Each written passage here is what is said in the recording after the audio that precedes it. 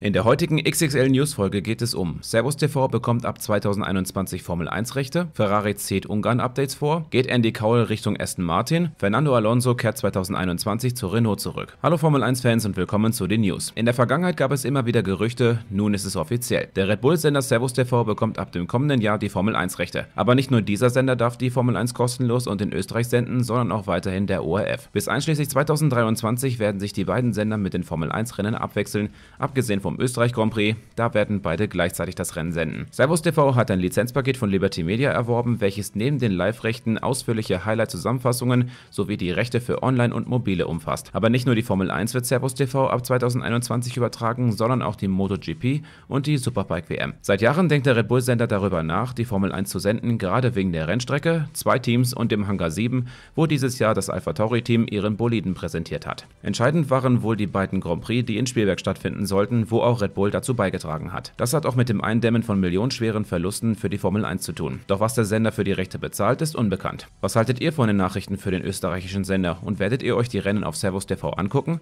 Schreibt es in die Kommentare. Ferrari hat am vergangenen Wochenende eine Katastrophe erleben müssen und das trotz des zweiten Platzes von Charles Leclerc. Die geplanten Aero-Updates für den Ungarn Grand Prix am nächsten Wochenende sollen dieses Wochenende kommen. Das hat Luis Camilleri angemerkt, bestätigt ist aber noch nichts. Vettel hat auch nach dem Rennen am Sonntag erklärt, dass er das Auto bereits am Samstag nicht mehr wiedererkannte und er sich am Sonntag nicht nur weggedreht hatte, sondern auch mit den Boliden zu kämpfen hatte.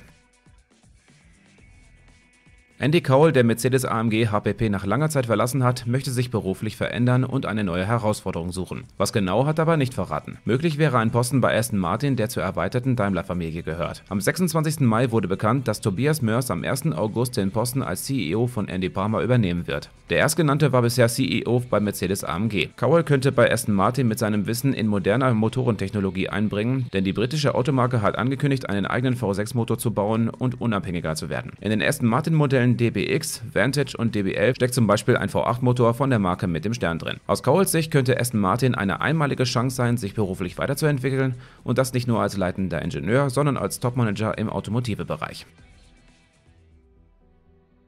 Lange Zeit ein Gerücht, seit heute offiziell. Fernando Alonso kehrt 2021 in die Formel 1 zurück und das mit dem Team, mit dem er 2005 und 2006 zweimal Weltmeister geworden ist. Das hat das französische Team heute bekannt gegeben. Der mittlerweile 38-Jährige hat für die Franzosen insgesamt 17 Rennen in sechs Saisons gewonnen und ist 2018 im McLaren das vorerst letzte Rennen in einem Boliden gefahren. Nach zwei Saisons Pause wird der Spanier 2021 sein Comeback an der Seite von Esteban Ocon feiern. Bereits am Montag gab es auf Twitter einen Tweet von der spanischen Journalistin Naomi de Miguel. Darin hieß es, dass sie mitgeteilt mitgeteilt wurde, dass Renault eine offizielle Ankündigung plant und Cyril Abiteboul Mechanikern, die über 15 Jahre dabei sind, mitgeteilt habe, dass sie bereits mit ihm zusammengearbeitet haben. Bereits vor zwei Monaten war der zweifache Weltmeister eine Option. Außerdem ist für morgen noch eine Bekanntgabe angesetzt. Was genau, ist jedoch nicht 100%ig bekannt. Es könnte sich aber um die Fahrerpaarung für 2021 bei Mercedes handeln. Wenn ich es weiß, pinne ich meinen Kommentar oben an. Jetzt würde mich mal eure Meinung zu Alonso und Renault interessieren. Glaubt ihr, dass das der richtige Schritt ist oder denkt ihr genau andersherum? Schreibt es in die Kommentare.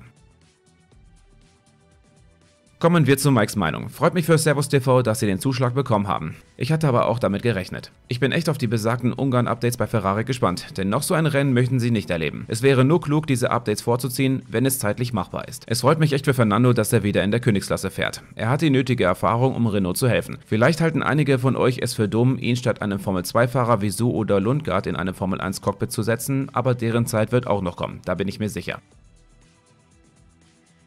Und nun zum Community-Kommentar. Der kommt heute von LOLLegend884 und er hat eine Frage zu meinem Setup. Er fragt, Mach weiter so, eine Frage habe ich. Ist dein Mikrofon in deinem Sichtfeld, also siehst du von dem Formel 1 Game weniger durch das Mikrofon oder stört es dich nicht? So wie du es da im Video siehst, ist es nicht so wie beim Stream. Dort habe ich das Mikro bzw. den Mikrofonarm an der rechten Seite angebracht, damit ich auch den Chat sehen kann. Stören tut es mich nicht. Das soll es mit den News gewesen sein. Falls euch das Video gefallen hat, gebt dem Video einen Daumen nach oben und abonniert diesen Kanal, damit ihr in Zukunft kein Video mehr von mir verpasst. Und denkt daran, liken und abonnieren bringt euch auf den neuesten Stand. Bis zum nächsten Video. Ciao.